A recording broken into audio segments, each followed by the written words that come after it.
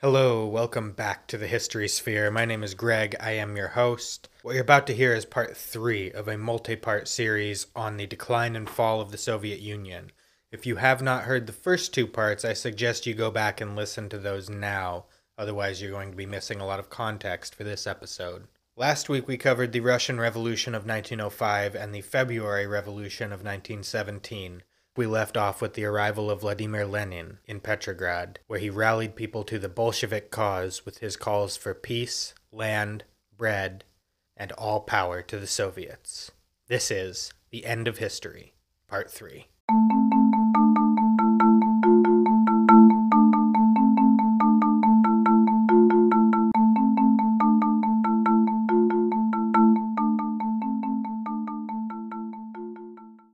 10 o'clock in the morning on November 7th, 1917, October 25th by the old Julian calendar, which Russia still used at this time, Vladimir Lenin broadcast a message to the citizens of Russia from aboard the cruiser Aurora in Petrograd Harbor.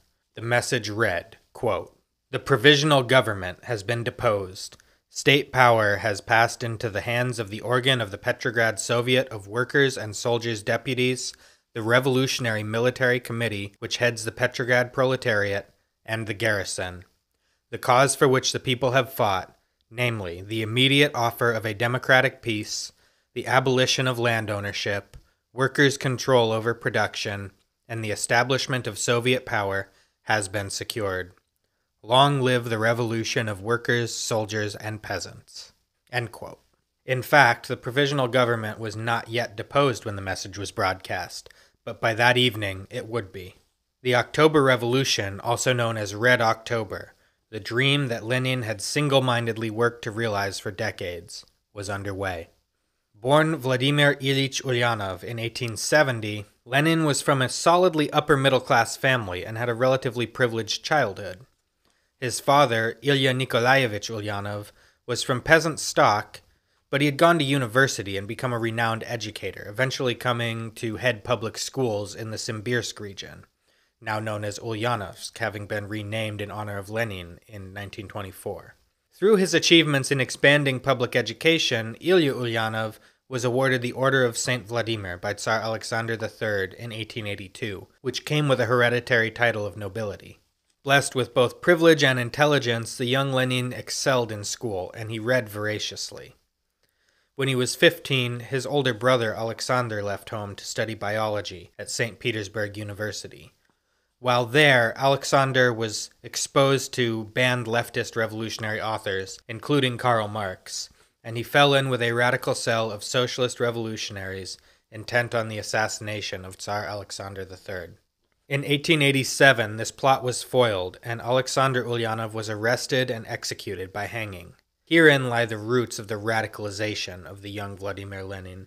Later that year, Lenin enrolled at Kazan University to study law, and soon fell in with socialist radicals himself, initially identifying with the agrarian socialist SRs, socialist revolutionaries, as his brother did.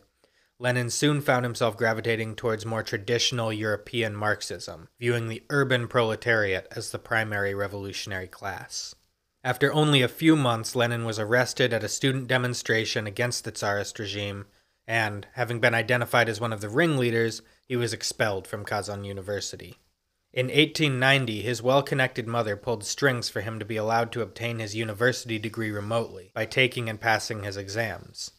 He received a law degree from St. Petersburg University later that year. In 1892, he moved to St. Petersburg and began working as an assistant to a local trial lawyer. But he never had any love for the practice of law, and most of his time and attention were devoted to his moonlighting activities as a revolutionary agitator. The sheer volume of Lenin's revolutionary resume during this time is almost impossible to understate, and it can't be done justice in a short podcast such as this one. Suffice to say that he joined multiple underground socialist meeting groups, read socialist theory, and published his own theories on socialism and revolution in numerous underground newspapers, pamphlets, and other illegal publications. In 1895, he was arrested for publishing an underground socialist newspaper, The Workers' Cause, and charged with sedition. Denied legal representation, Lenin denied all charges and refused to confess. Not wanting to give him a public trial and therefore an opportunity to give a stump speech, the authorities kept him in prison for over a year without trial while they worked out what to do with him. While in prison, Lenin continued to write and develop his theories on revolution. Eventually, he was sentenced to three years in exile in Siberia. While in Siberia, he would continue to smuggle his writings out for illegal publication. He also managed to establish correspondence with several prominent Marxists abroad.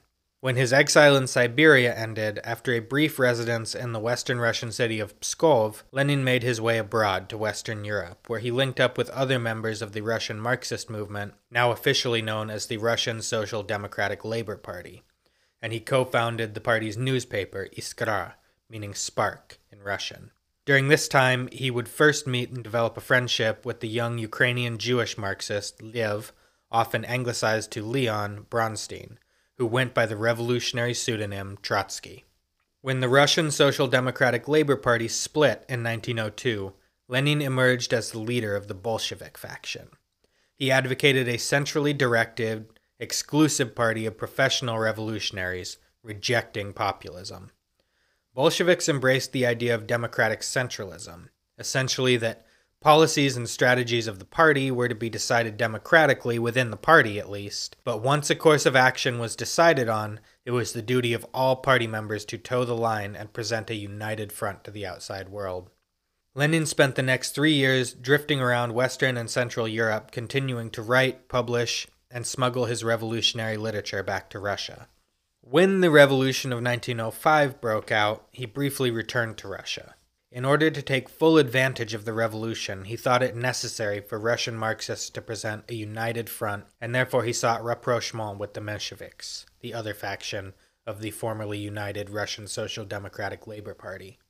He achieved some moderate success in this endeavor, and the Russian Social Democratic Labor Party was briefly reunited in 1906, only to be split again in 1907 over the issue of expropriations. You see, full time revolutioning wasn't cheap and Lenin's core group of professional revolutionaries required an income to live and fund their revolutionary activities. Somebody had to pay the printer for all those pamphlets. Lenin and the Bolsheviks therefore relied on income generated by outright theft conducted by organized gangs on behalf of the party. One young Bolshevik, a Georgian named Joseph Vissarionovich Djugashvili, who went by the revolutionary pseudonym Stalin, proved particularly effective at generating revenue for the party's activities in this fashion. By bankrolling the party's activities with successful heists and bank robberies, Stalin made himself indispensable to Lenin and the other Bolshevik leaders, and he was able to make a name for himself and rise through the ranks of the party in this way. The Mensheviks rejected this tactic, and the reunification of the party was unable to hold. After the 1905 revolution fizzled out, Lenin returned to his self imposed exile abroad. When World War I broke out in 1914, Lenin immediately saw an opportunity in the crisis of war. He believed that the war between the imperialist capitalist powers would expose the weaknesses of their system and leave them vulnerable to the world socialist revolution he so longed for. He would, in the case of Russia at least, turn out to be right. Lenin was not a Russian patriot. He cared nothing for nationalism, he was an internationalist to his core. He believed with every fiber of his being in world revolution.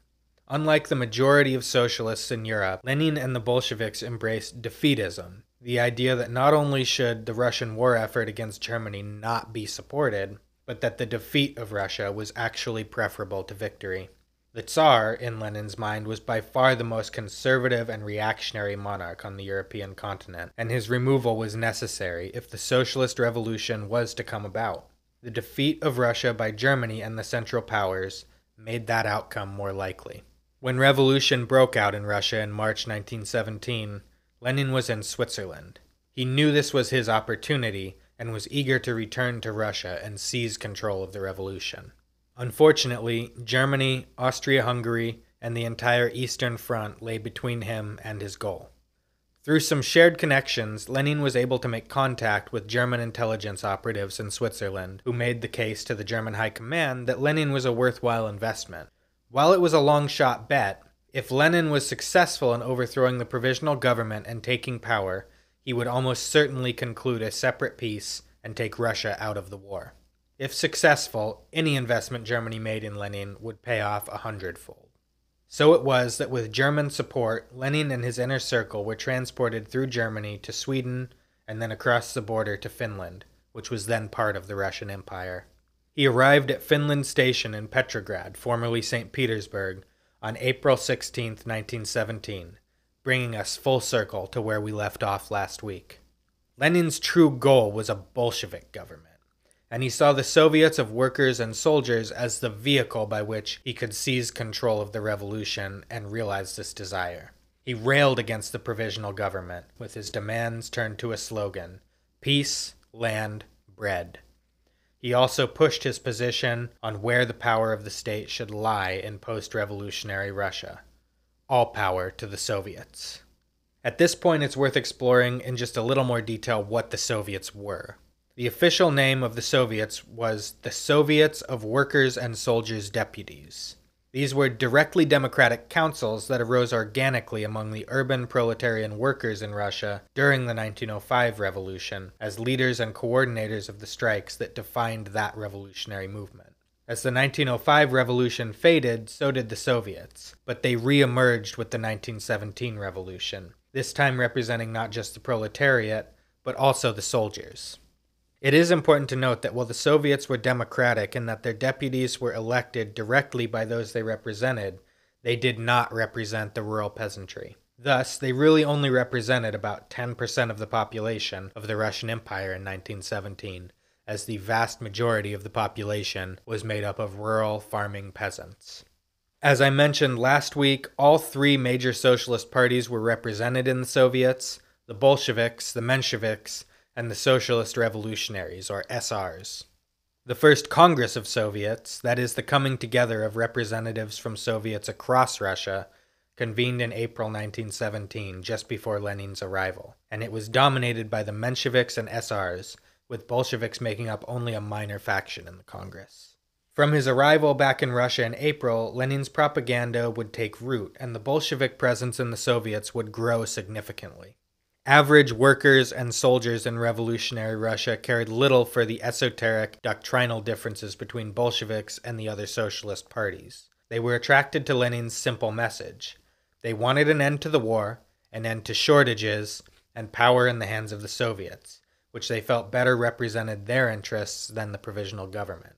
Whatever his flaws, Lenin's message resonated with them, especially among the soldiers, in whose Soviets the Bolsheviks would become particularly dominant in the coming months.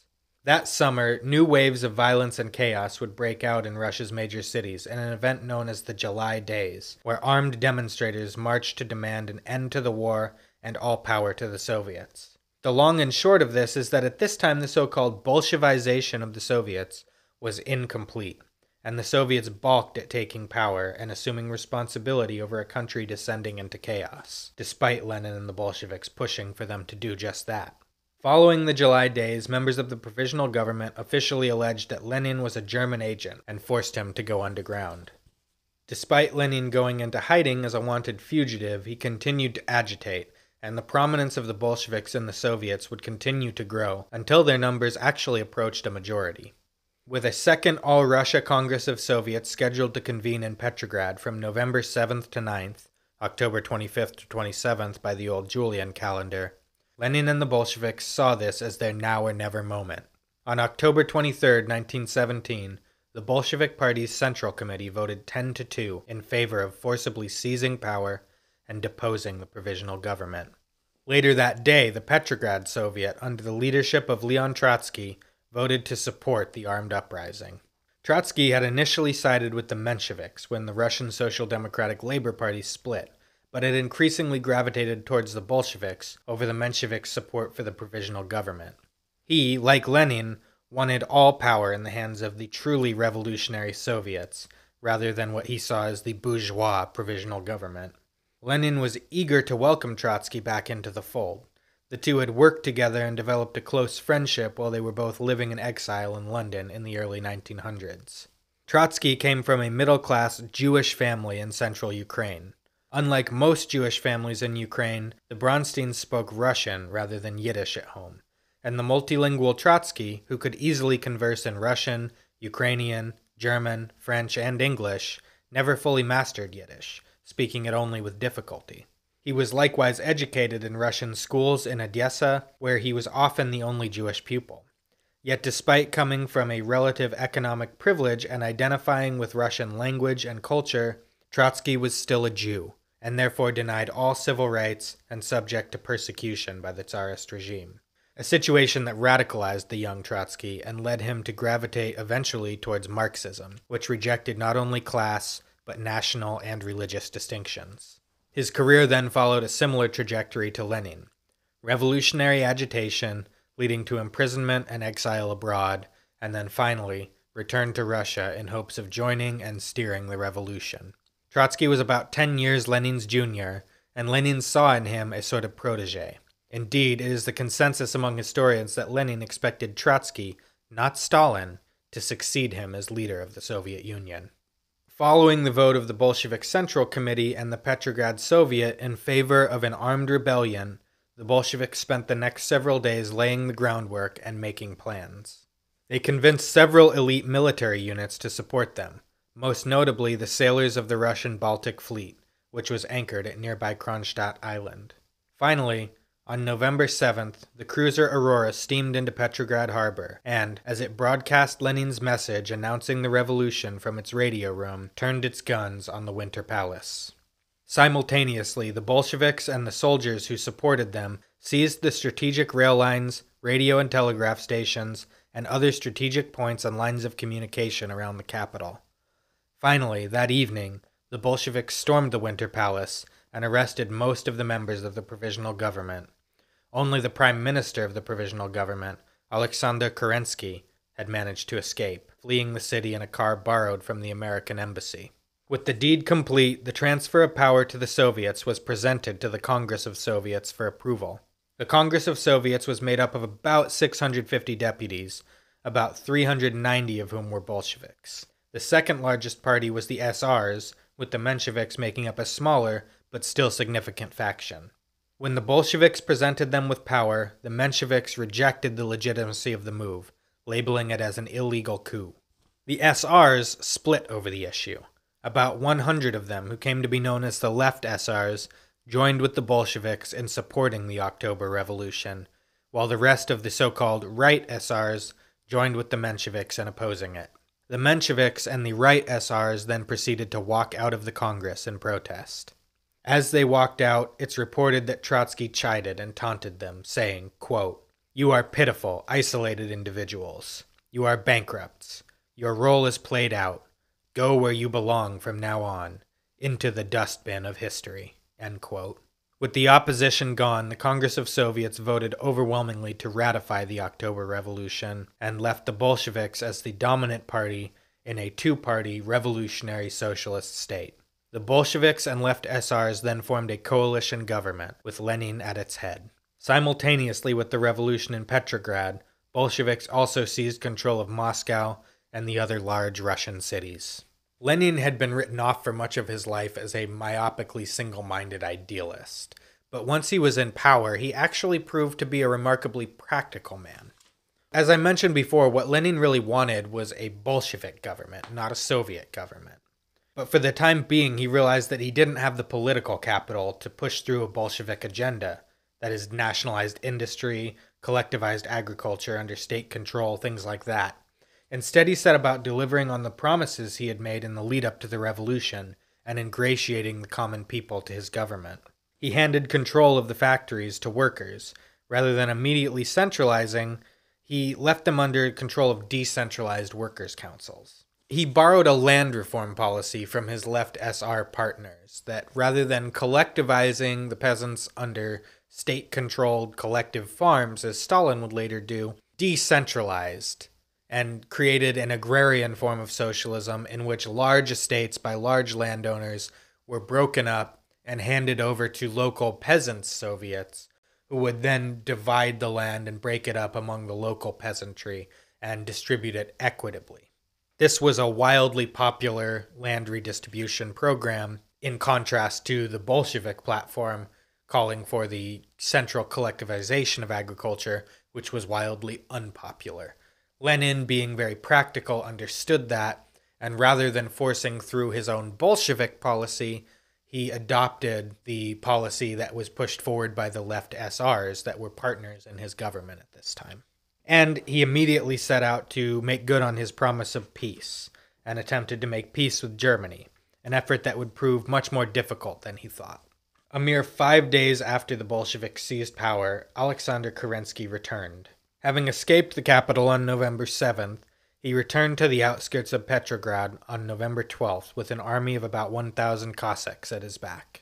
Originally formed from bands of runaway serfs on the peripheries of Muscovy during the late Middle Ages, the Cossacks had come to terms with the Tsars during Russia's late medieval period to serve as the shock cavalry troops of the Tsar's army in return for a degree of autonomy within the empire. Fiercely conservative and protective of their elevated status within the old order, Many Cossacks feared that the Bolshevik Revolution posed a threat to their way of life. They chose to back Kerensky and would soon form the nucleus of an important portion of what would become the White Armies in the Russian Civil War. Kerensky rightly surmised that the Bolsheviks and their revolution were unpopular with the country at large, but he failed to understand the degree to which most of the soldiers were either outright Bolshevik supporters or at the very least were indifferent to the October Revolution. Few soldiers, aside from the aforementioned Cossacks, supported Kerensky or the provisional government. Kerensky expected little or no resistance in his march on Petrograd.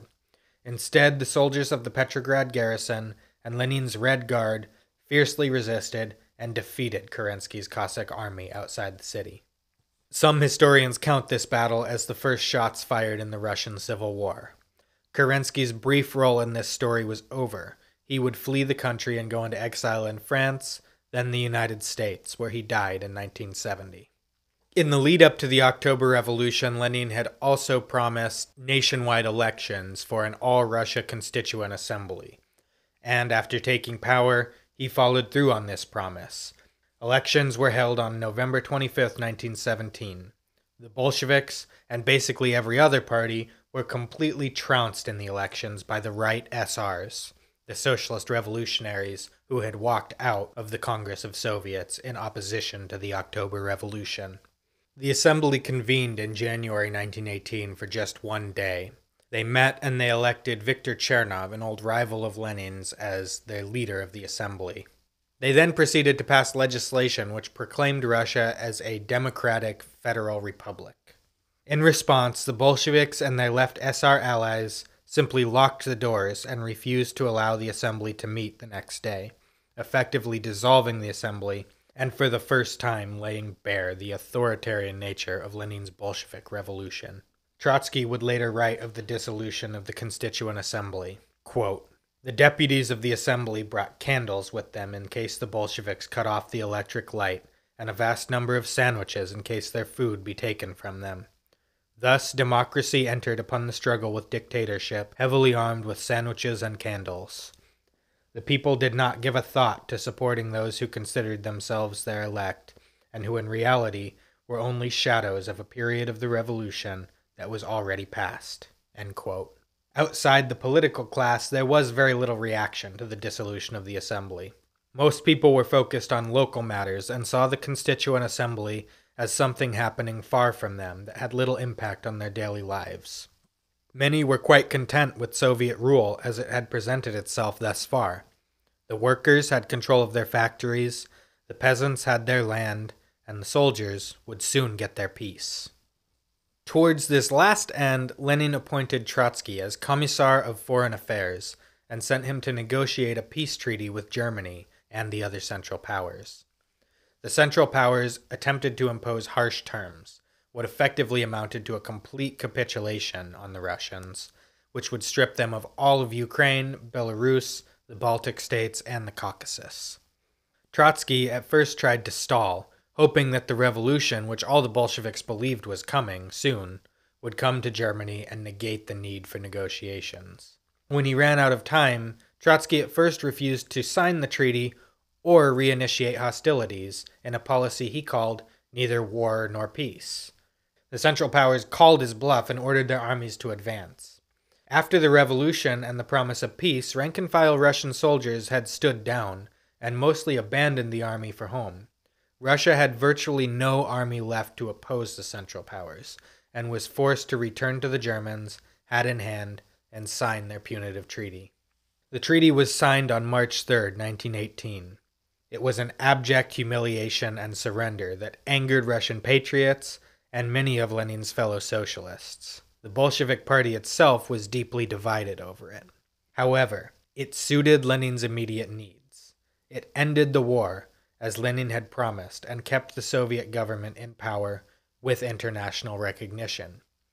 The treaty would be annulled in November 1918 when Germany and the Central Powers collapsed in defeat, ending the First World War and leaving Eastern Europe in chaos. The left SRs, who were still in a coalition with the Bolsheviks and the revolutionary government, strongly objected to the treaty. They saw it as a betrayal of the people, particularly in Ukraine, where they had a large number of supporters. The left SRs would come to favor returning to the war against Germany and transforming it from a capitalist imperialist war to a revolutionary war to liberate the working classes of Europe, looking to the wars of the French Revolution as their inspiration. Brest-Litovsk, along with disillusionment with the increasingly apparent authoritarian and repressive nature of the new regime, would cause the left SRs to revolt in July 1918 in an attempt to seize power from the Bolsheviks and put the revolution back on what they saw as the right path.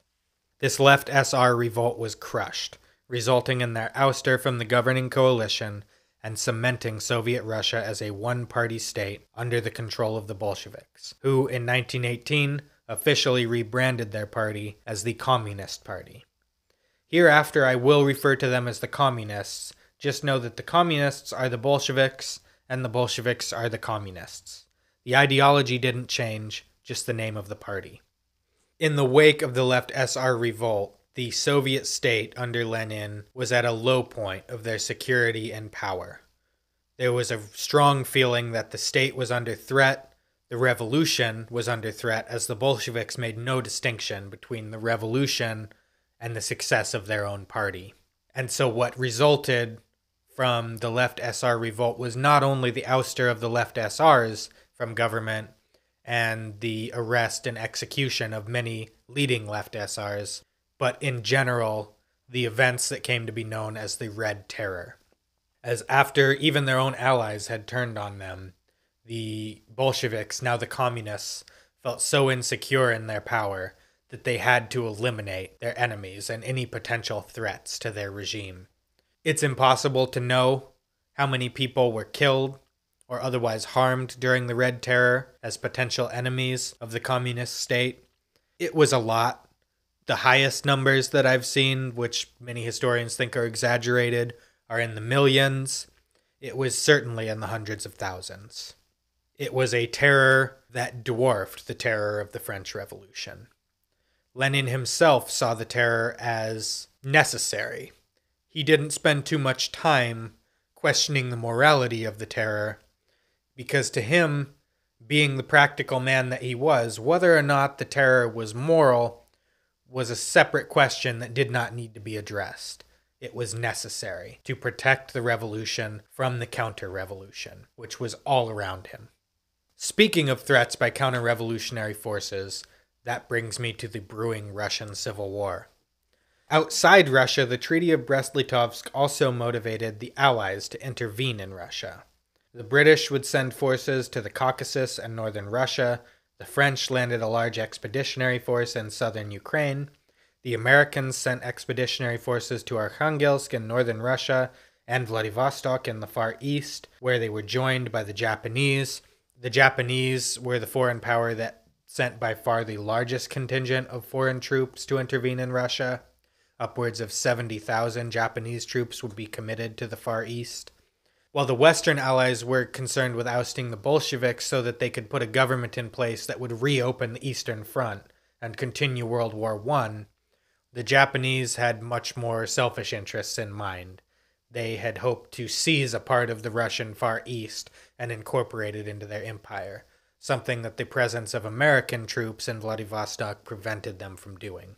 The American and European powers, while it was seen as a counter revolutionary movement, that their motivation was to destroy the revolution in Russia, that wasn't really the case. At least for, especially for the Americans and the French, their primary concern was winning World War One. Everything that they did in Russia was seen in the big picture of World War One. And if the Bolsheviks had continued to fight the Germans, I have no doubt that the Allies would have continued to fund money and weapons and supplies to Lenin and the Bolsheviks to fight the Germans. Their concern was defeating Germany.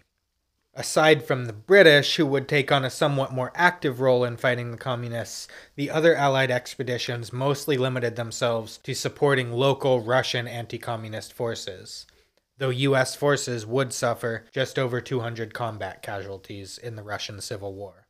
Later, Soviet historiography casts the ensuing conflict, which is known as the Russian Civil War, as the result of foreign intervention, creating an artificial resistance to the revolution with the intent of restoring the Tsarist regime. But the reality is significantly more complicated. The Allied intervention did not create the anti communist forces on the periphery of the Soviet state, it merely supported forces that formed very organically. And far from being a reactionary movement intent on restoring the Tsar to power, the vast majority of these forces, which would collectively come to be known as the White Armies, were made up of non Bolshevik socialists and liberal Democrats. Arrayed against them were the Reds, as the communist forces would come to be known. As the White movement grew and gained foreign support, Lenin and the communists came to recognize it as a legitimate threat to their regime, and Lenin once again turned to Trotsky to defend the revolution. Trotsky called on the old traditional Tsarist officers to form the nucleus of a million man Red Army. These officers, obviously politically untrustworthy, would be overseen by a corps of loyal communist political commissars. Conscription would be introduced to fill the ranks of this army. Though there was some resistance to conscription, the vast majority of conscripts were rural peasants who often had no love for Lenin or the communists. By and large, it was successful. Shortages, economic depression, and famine plagued the countryside, and despite their lack of ideological enthusiasm, many men were attracted to the regular meals and regular pay offered by service in the Red Army. The Red Army would never suffer a shortage of manpower, and in the ensuing civil war was able to consistently commit larger armies to the field against the white armies. The Red Army also had the advantage of controlling almost all of the country's heavy industry, located in the major cities of central Russia, which the communists controlled. The Red Army also benefited from strong, centralized leadership and consistent ideological messaging. The White Armies, by contrast, were geographically separated from each other, sometimes by thousands of miles, they shared no unified command structure, and they had inconsistent ideological messaging, as the only thing that really unified them was opposition to Lenin and the communists. The White Armies also, in some cases, made huge strategic blunders by committing atrocities that alienated large swaths of the population, particularly the brutality of white officers towards the Jews of Ukraine, largely springing from the anti Semitic perception that communists were actually puppets of a world Jewish conspiracy, alienated the local population, including many of the non Jewish Russians and Ukrainians who were horrified at the mistreatment of their Jewish neighbors by the white forces.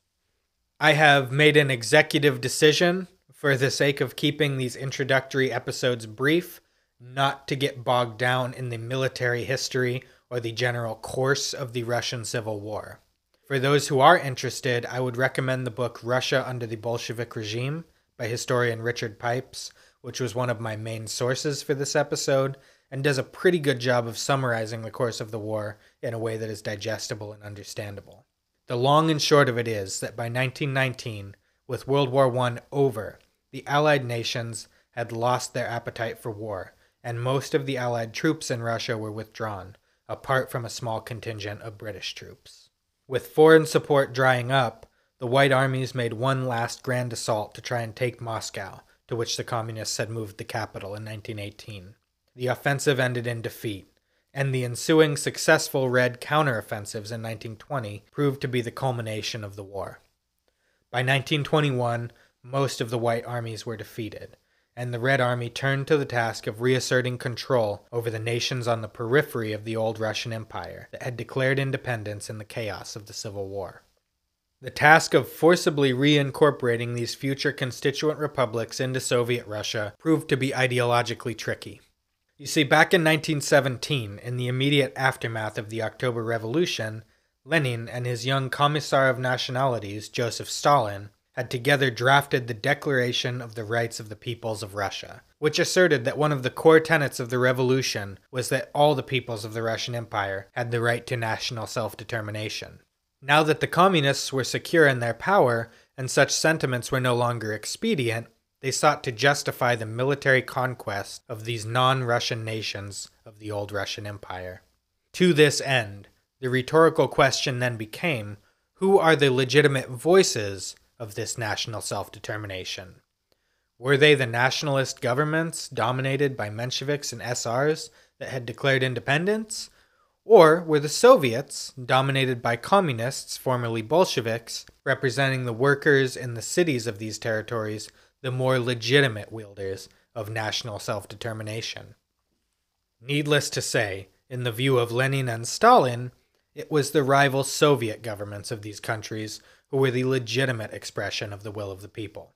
The next several years were characterized by military campaigns by the Red Army to invade and consolidate Soviet rule in these countries. In December 1922, the Soviet governments of Russia, Ukraine, Belarus, and Transcaucasia, consisting of the future republics of Georgia, Armenia, and Azerbaijan, signed a treaty formally creating the Union of Soviet Socialist Republics, the USSR, or Soviet Union. Central Asia was at first incorporated into the Russian Republic and would only later be separated into new constituent republics.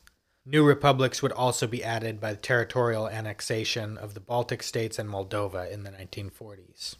With that, we have, three episodes in, finally reached the beginning of the thing whose end I have set out to explain. So, strap yourselves in for a long series. That's everything for today. As always, thank you to the Blake Annex for the use of this studio, and thank all of you for listening. Please follow us on social media. We are on Facebook, Instagram, and the platform formerly known as Twitter. Please also give us a five star rating and subscribe on whichever podcast platform you are listening on. Next time on the History Sphere, we will cover the rise of Joseph Stalin and his consolidation of power in the new Union of Soviet Socialist Republics. Thank you for listening. Have a wonderful day.